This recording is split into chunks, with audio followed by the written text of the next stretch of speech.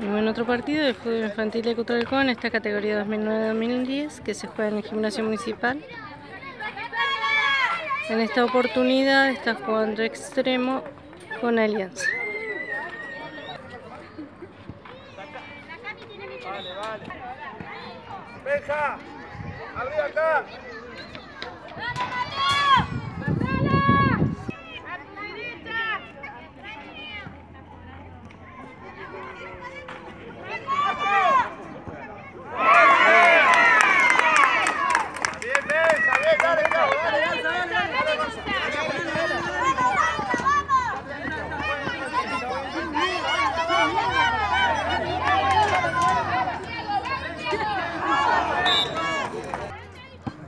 Dale, la oveja, apretá la oveja.